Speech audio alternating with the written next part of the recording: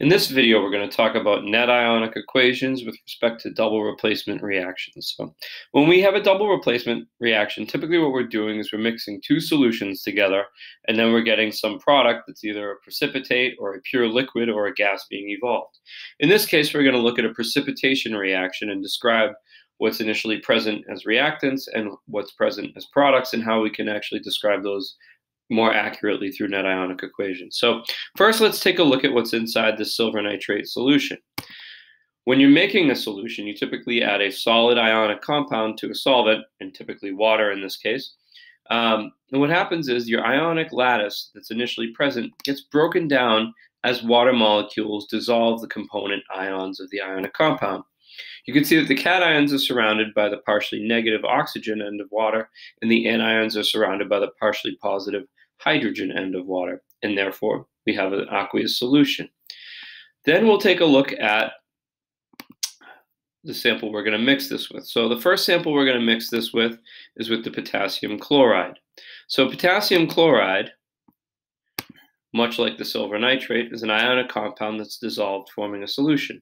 Again, the positive potassium ions are surrounded by the oxygen ends of water and the chloride anions are surrounded by the hydrogens of water. And what you really have is you don't have this compound reacting with this compound. You really end up with a mixture that includes all of the ions from each compound present. And that's what we actually have in the solution. So once the reaction occurs, some of the ions will combine to form a solid compound. So in this case, silver, which isn't super soluble, can actually form a precipitate with the chloride ion. So the silver and the chloride form the precipitate, and the potassium and the nitrate ions kind of just stay floating around in solution. They don't really participate in the reaction, and we call them spectator ions.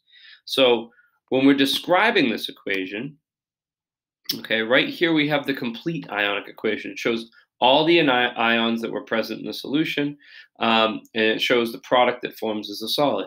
When we use the net ionic equation, we're really just looking at the species that were actually participants in the reaction. So when we're doing a net ionic equation, we leave the spectator ions out, which are indicated in blue there, and we only include the species that form the solid, or in the case where you're forming a pure liquid, the species that form a pure liquid, or what results in a gas. So net ionic equation only includes the things that actually change during the process.